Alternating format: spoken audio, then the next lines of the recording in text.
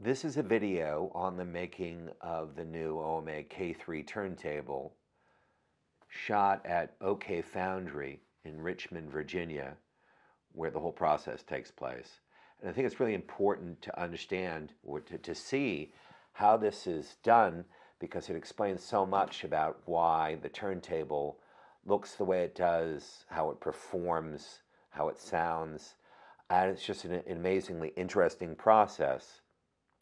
Sand casting goes back thousands of years. Really, it's at the very beginning of human technology. And uh, while the, the forms have changed, these are patterns, wooden patterns, that the sand is going to be placed into uh, to create the, the molds into which the cast iron is poured. Um, the, the process of pouring molten metal into a hole in sand, that goes back to the very beginning of human civilization, culture, and technology. This production line uh, starts with these patterns which have been made out of wood and, and painted in a, in, a, in a silver paint to allow the release of the sand easily. The black sand is, is packed into these, these molds, which are kind of like cake forms, and um, to create essentially um, a void. And there's going to be two sides to each of these these patterns and, and, and molds, which when the sand is released, will have a void, and that void is the space in which the molten metal, which is poured in through a hole, which you'll see in the top. Here's the, the sprue, the, the pipe that will create the hole where the metal will go. And the metal, the, the, the molten metal will, will rush into this, into this void and solidify, and that will be what we're going to be working with to create the, the turntable. Um, you'll also see a pattern for the SP10 plinth, and the foundry also makes the OMA equipment racks and uh, the Ironic loudspeaker. These patterns were uh, and molds were, were created out of very strong plywood. There's another way in which this can be done, which is by 3D printing the molds, which is not done at OK Foundry. It's done on an extremely expensive multi-million dollar machine. There's only a few of them in the United States. But that's not how we make the K3. It is, however, actually how we started the process of K3 because we didn't think it was possible, or would be possible, to create these forms and patterns to um, create the, the shape of the, the K3 turntable body, and most importantly, the voids inside of the body. But we found that the 3D printed sand molds were actually not as good because of the nature of the way the sand is compacted, constructed, as making patterns. So we, we went to a, a great deal of expense to create these forms that you're seeing, which are being packed with black sand. Um, it's being flipped over so you can get to the other side to create the, um, the molds to do K3. It was, it was Jamie actually who came to me, I think really more than 10 years ago now, um, as, as you know, someone who was a fan of, of OMA and said, uh, you know, I've got this foundry in Richmond. We do interesting work. Um, we do some artwork, we do industrial work, and, and we have some processes that you might find interesting. We'd love to work with you. And it was that collaborative spirit that actually sort of paved the way to do first um, the ironic speaker, uh, which is a very interesting story into itself. By the way, that's the SP10 uh, mold being made at the same time as we're making a K3 for the Technics turntable. Jamie said, you know, we could probably do some really cool things together. And uh, it's like, all right, I'm, I'm game. And you know what developed was this relationship, which resulted in all sorts of products that we would never have been able to make, you know, ourselves. We were too small a company to uh, go and seek out foundries. And there's very few foundries, by the way, like Jamie's OK Foundry in Richmond, Virginia, left in America today. There's very, very few small family-owned foundries. These parts that are being made here, which you might go like, what? This doesn't look like anything belonging to a turntable. These are actually core parts.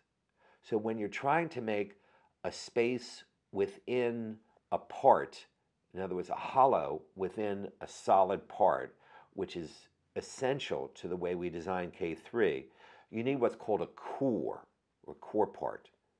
And this part is, is preventing the metal when it's poured into the form for the body of K3 from, from just making a solid block. And so what you're seeing here is the solid uh, thing that is going to be a hollow inside of the final um, casting of K3. And that's so important because the way Richard Krebs designed K3 was to have all sorts of hollow spaces within this big blocky looking, you know, piece of cast iron, which would, those hollow spaces would themselves be filled with a mixture of a type of oil and particles that would dampen any vibrations. So with K3, what we were trying to do was to create this massive cast iron body, which would have these very, very carefully designed and engineered uh, voids inside, cavities that, that um, connect to each other to mitigate and ameliorate vibrations, resonances generated by the turntable itself, even though it has an extremely quiet motor, and importantly, airborne vibrations and vibrations coming from the environment that could come up, for example, vis-a-vis the stand, um, to make the whole thing so quiet that any any noise in the system would be ameliorated. And that's just like the same reason that you, if you have a multi-million dollar scanning electron microscope, you, you make sure that it's as isolated from vibrations as possible. We were trying to do the same thing with the K3 turntable, and thus we had to create voids which would have these special materials inside to quiet the whole thing down. And what you're seeing are these parts which are very, very carefully assembled that will go inside of the mold that will pr produce the, the empty spaces. You can see all the intricate handwork. Uh, this is done by Jesse, he's a sculptor in residence at the foundry.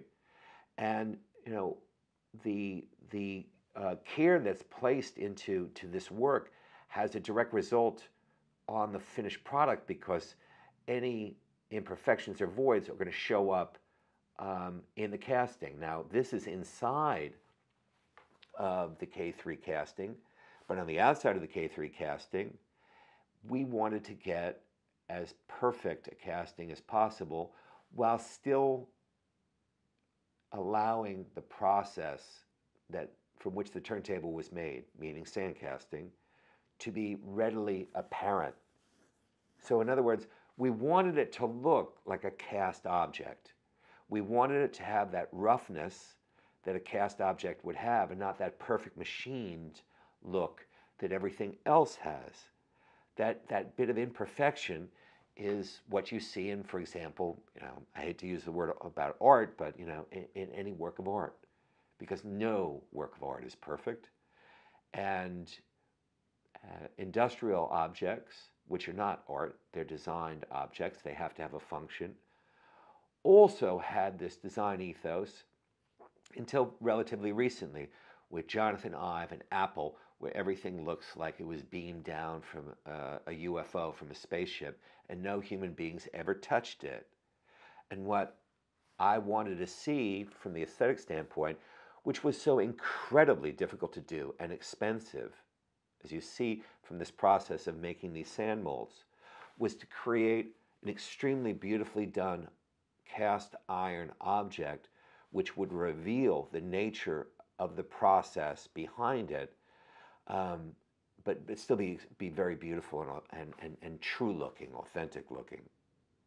So these are the two sides or the two parts of the mold that are being assembled now and they're going to get glued together and you'll have to imagine that the empty space within these two parts that's where the cast iron that the molten iron is going to go and that is going to be in the end what our turntable looks like and so every aspect of this process uh, how, how diligently and carefully done it is will have a direct result on the final casting. And even with all this great attention and care to the process, still the failure rate, because we need something that looks really great, is very, very high, which also accounts for the great expense of the turntable.